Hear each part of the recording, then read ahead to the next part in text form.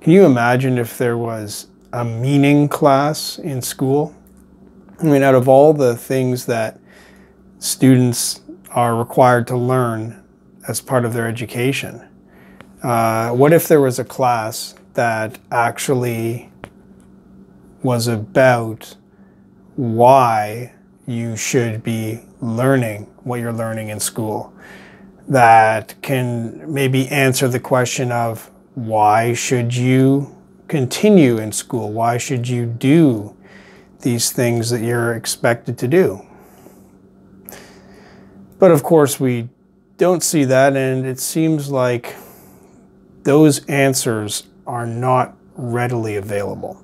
I mean, we're told the idea is you go to school and uh, it helps you to get a job. Getting a job helps you to get money um, so that you can support yourself. Um, so that's really the main function that is explained to us as, you know, this is why you should participate and do these things. Okay. Uh, it will help you to make money so that you can survive.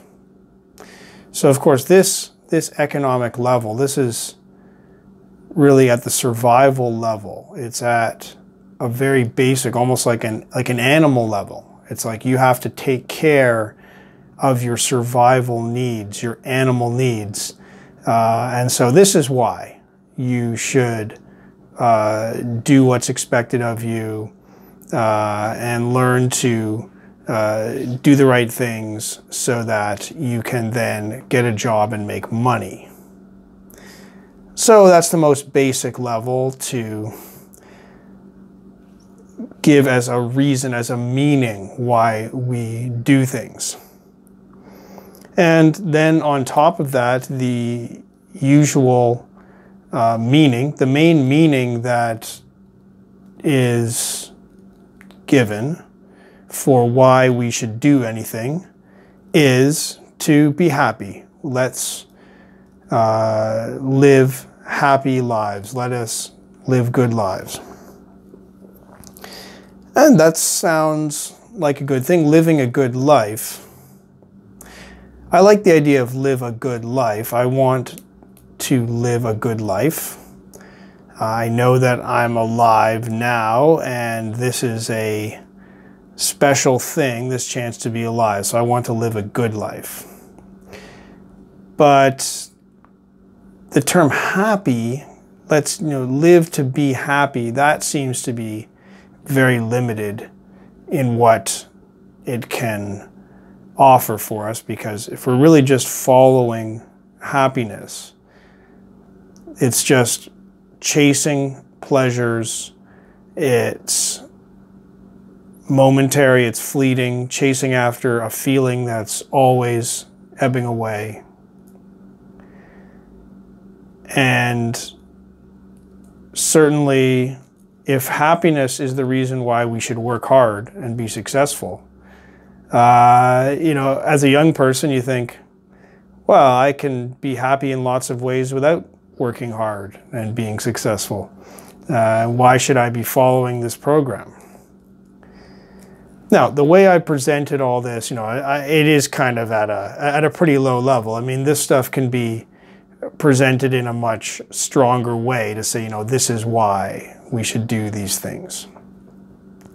And uh, there's the most basic thing of just that we know people. It's it's the personal connections. We know people and they encourage us to do things that they believe will help us become successful in the way that they define it and help us to define what it means.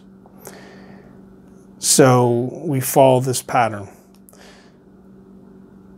But ultimately, there is no foundation. There's no answer in the society we have in our culture, in our system, there is no answer for what, what gives our lives meaning. Um, even the idea of questioning the meaning of life is almost a joke. It's like, oh, what's the meaning of life? That's the, the never ending and impossible question that doesn't seem to get a lot of attention.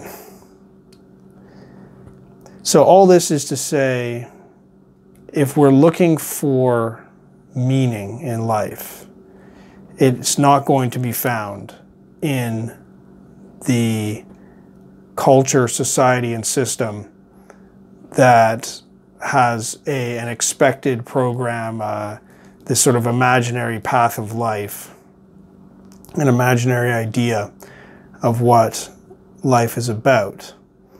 Simply doing those things, like getting a job, uh, building a career, building a family, those are fine things, but they still don't ultimately get to the ultimate point.